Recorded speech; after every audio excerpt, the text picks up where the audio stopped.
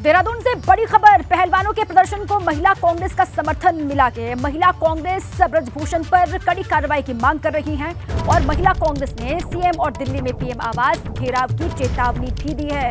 और ये कहा गया कि पाँच दिन के भीतर सीधे सीधे अल्टीमेटम दिया जा रहा है। पाँच दिन के भीतर कार्रवाई नहीं होने पर आंदोलन की चेतावनी दे रहे हैं। महिला पहलवानों पर लगाई गई धाराओं को वापस लिया जाए। ये महिला कांग्रेस की तरफ़ से बात कही गई है। महिला कांग्रेस ने सीएम और दिल्ली में पीएम आवास को घेरने की चेतावनी दी और पाँच दिनों का वक्त दिया गया है। पाँच दिनों के भीतर अगर कार्रवाई नहीं होती है ब्रजभूषण शरण सिंह पर तो फिर आंदोलन किया जाएगा, ये कहना है महिला कांग्रेस। का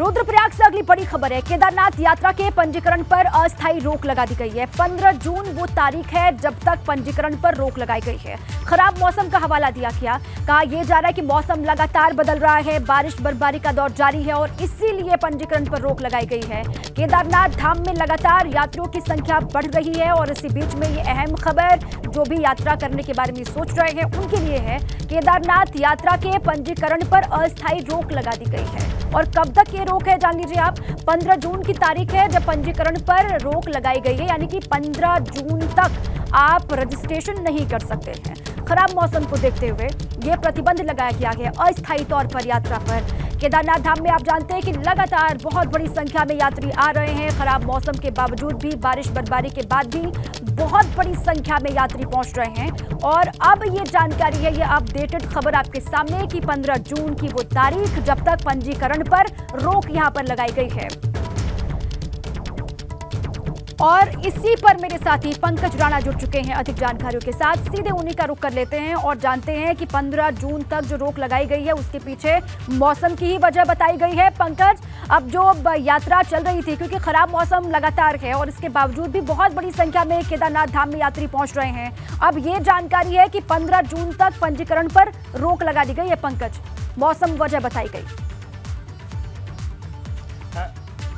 बिल्कुल दीपा, देखिए 15 जून तक जो नए श्रद्धालु हैं, वो केदारनाथ जाने के लिए रजिस्ट्रेशन नहीं करा सकते हैं। इसकी दो दो वजह बताई जा रही हैं। एक तो क्योंकि लगातार मौसम खराब है, पर्वतीय क्षेत्रों में लगातार मौसम खराब हो रहा है और खासकर केदारनाथ धाम में बर्फबारी हो रही है, लगातार बारिश हो रही है और जब यात्री आगे जाते हैं तो उन्हें बहुत बड़ी दिक्कतों का सामना करना पड़ता है। अभी प्रतिदिन के हिसाब से देखा जाए तो हर रोज़ तकरीबन बीस से बाईस के करीब श्रद्धालु अपने रजिस्ट्रेशन करा चुके हैं। इसी वजह से जो केदारनाथ धाम के रजिस्ट्रेशन है, उन पर पंद्रह जून तक के लिए रोक लगा दी है। कैरिंग कैपेसिटी को देखते हुए भी ये रोक लगाई है, क्योंकि केदारनाथ धाम में श्रद्धालुओं की रुकने की जो संख्या है, वो आठ से दस हज़ार ही है, और ज़्यादा श्रद्धालु वहाँ पहुँचते हैं तो फिर दिक्कतें वहाँ पर हो जाती हैं। चाहे हम रुकने की बात करें या दर्शनों के लिए बात करें, दर्शनों के लिए भी जब संख्या ज़्यादा होती है तो बड़ी संख्या में, बड़ी लंबी लाइन वहाँ लग जाती है, और श्रद्धालु वक्त पर दर्शन नहीं कर पाते हैं। तो इसी वजह से पर्यटन विभाग ने फ़िलहाल नए रजिस्ट्रेशन पर पंद्रह जून तक रोक लगा दी है। ये अस्थायी रोक है। पंद्रह जून के बाद फिर से रजिस्ट्रेशन की प्रक्रिया खोली जाएगी। यदि पंद्रह जून के बाद संख्या प्रतिदिन के हिसाब से बीस हज़ार से ज़्यादा नहीं हुई है तो फिर ये रोक खोल दी जाएगी। और अगर ज़्यादा रहती है बीस हज़ार से तो ये रोक नहीं खोली जाएगी, क्योंकि पर्यटन विभाग का ये कहना है कि जून के महीने में स्कूलों की छुट्टियाँ पड़ जाती हैं। कई जो श्रद्धालु हैं, देश दुनिया से तमाम श्रद्धालु जून के महीने में या तमाम जो चार धाम यात्रा पर आते हैं और खासकर बद्रीनाथ धाम की यात्रा पर पहुँचते हैं। तो इसी वजह से ये तय किया गया है कि कैरिंग कैपेसिटी के हिसाब से श्रद्धालुओं को आगे भेजा जाए। गौरीकुंड, सोनप्रयाग और तमाम जो पड़ाव हैं, वहाँ से श्रद्धालुओं को आगे भेजा जा रहा है। संख्या निर्धारित की गई थी, उसी आधार पर भेजा जा रहा है, क्योंकि पिछले दौरान ये देखा गया है कि कई जगह कई कई घंटे जाम लग रहा है। सोनप्रयाग के आसपास कई घंटे लोगों को जाम में लगना पड़ता है और फिर उसके बाद वो केदारनाथ धाम पहुँचते हैं और इसी वजह से ये तय किया गया है कि फ़िलहाल इस पर रोक लगा दी जाए। नए श्रद्धालु जो पंद्रह जून तक जिन्होंने रजिस्ट्रेशन नहीं कराया था वो केदारनाथ दर्शन के लिए जाना चाह रहे थे फ़िलहाल वो अभी अपना रजिस्ट्रेशन नहीं करा पाएँगे। जो पुराने लोग हैं जो पहले से ही रजिस्ट्रेशन करा चुके हैं वो केदारनाथ धाम के लिए जा सकते हैं। तो ये तमाम चीज़ें की गई हैं। लगातार बारिश हो रही है दीपा इस वजह से ये निर्णय लिया गया है और कैरिंग कैपेसिटी को देखते हुए ये निर्णय पर्यटन विभाग ने लिया है ठीक है। ठीक है पंकज क्योंकि लगातार मौसम भी खराब है और ऊपर से जाम की स्थिति से भी दो चार होना पड़ रहा है इसीलिए पंजीकरण पर अस्थायी तौर पर रोक लगाई गई है। पंकज आप रहे हमारे साथ। अधिकारी क्या कुछ कह रहे हैं वो भी जरा सुना देते हैं एक बार।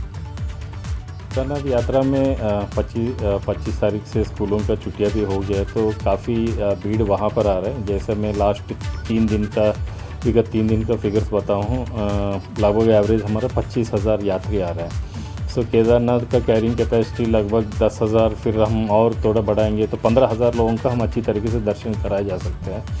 क्योंकि इस बार इतना रिकॉर्ड मात्रा में यात्री आ रहे थे तो थोड़ा सा वहाँ पर लॉजिस्टिकली थोड़ा सा आ रहे हैं बट लेकिन वहाँ पर एडमिनिस्ट्रेशन काफ़ी अच्छा काम कर रहे हैं। मैं वहाँ पर शनिवार में खुद ही वहाँ पर गया हूँ, सोनप्रयाग, गौरी कुंड और केदारनाथ में व्यवस्था देखा हूँ। यात्रियों से भी हमने बात किया है सो किसी भी यात्री को किसी टाइप का परेशानी नहीं आ रहा है।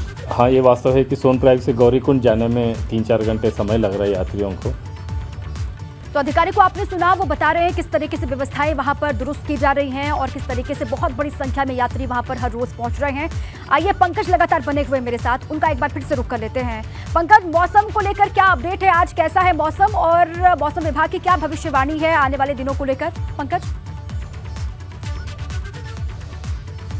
दीपा देखिए, दो जून तक मौसम विभाग ने कहा है कि पर्वतीय क्षेत्रों में बारिश हो सकती है और आज सुबह मौसम ठीक था, लेकिन पर्वतीय क्षेत्रों में फिर से बादल छा गए हैं और बारिश का सिलसिला शुरू हो गया है। यानी कि आज भी मौसम का मिजाज ऐसे ही बना रहेगा। हालाँकि बारिश के बाद भी तमाम जो श्रद्धालु हैं, वो चारों धामों में दर्शन के लिए आ रहे हैं। इस समय बहुत बड़ी संख्या श्रद्धालुओं की है, खासकर केदारनाथ धाम में श्रद्धालुओं की संख्या लगातार बढ़ रही है। बारिश, तूफ़ान और आंधी तूफ़ान के बावजूद भी श्रद्धालु केदारनाथ धाम में दर्शन के लिए जा रहे हैं। मौसम विभाग ने कहा है कि दो जून तक मौसम के मिजाज उत्तराखंड में बदला रहेगा। तेज हवाएँ चलेंगी ओलावृष्टि हो सकती है और अधिक ऊंचाई वाले क्षेत्रों में बर्फबारी भी हो सकती है। मौसम के बदलने के साथ साथ ही पर्यटन विभाग ने ये निर्णय लिया है कि जो यात्री हैं उनको व्यवस्थित रखा जाए। उनको ये अपील भी की है मुख्यमंत्री ने भी खुद अपील की है कि मौसम का मिजाज देख के ही यात्रा का प्लान तैयार करें। कोई श्रद्धालु यदि बिना मौसम के यात्रा पर जा रहा है तो उसे दिक्कतें हो सकती हैं क्योंकि कल भी देखिए यमुनोत्री धाम में लैंडस्लाइड की वजह से दिक्कतें हुई थी और अलग अलग जगह बरसात की वजह से लैंडस्लाइड हो रहा है और वहाँ पर परेशानियाँ हो रही हैं दीपा।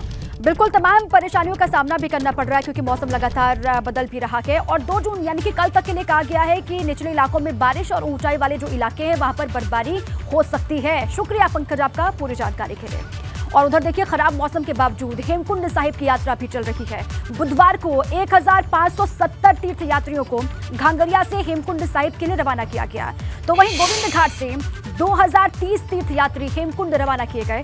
20 मई से हेमकुंड साहिब की यात्रा चल रही है और अब तक 15,000 तीर्थ यात्री हेमकुंड साहिब में अरदास कर चुके हैं लगा चुके हैं। हालाँकि खराब मौसम और बर्फबारी की वजह से हेमकुंड साहिब यात्रा बार बार बाधित भी हो रही है। पैदल मार्ग से बर्फ़ हटाने का काम लगातार जारी है।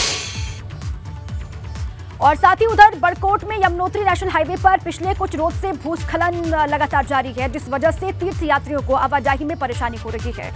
डाबरकोट के पास पहाड़ी से बड़े बड़े पत्थर गिर रहे हैं, जिससे बुधवार को यात्रा बाधित रही और सुरक्षा के लिहाज से यात्रा को रोकना पड़ा था। ये देखिए आप, डाबरकोट के पास पहाड़ी से बड़े बड़े बोल्डर गिर रहे हैं, पत्थर गिर रहे हैं, उसी की तस्वीर आप देख रहे हैं।